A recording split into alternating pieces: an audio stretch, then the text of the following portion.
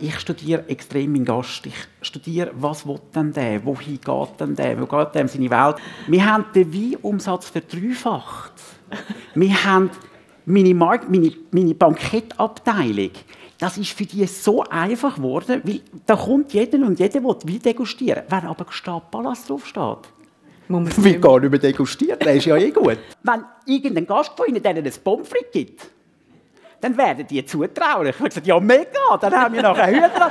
Ja, ja, aber von dem redet nachher jeder, oder? Also das ist doch das, das wird dann gefüttert und geht auf Facebook und überall an. Wir machen dort Flügelfische.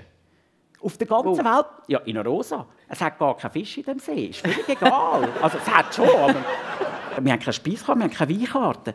Weil ich eigentlich auf den Gast eingegangen bin und gar nicht auf Gastronomie. Ich meine, das, das ist unglaublich, das Teil. Also, wie funktioniert es, ganz kurz? Ja, ich, ich tue eigentlich meinen Gast bevormunden dort drin. Der kann gar nicht bestellen, was er will. Der kommt einfach über, was wir machen.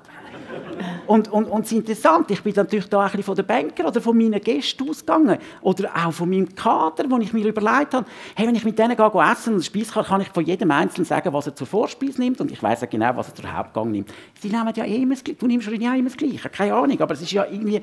Und dann habe ich mir gedacht, etwa 80 Prozent von allen Bankern, die, die, die, die essen immer auswärts und bring ihm doch die Hai zurück.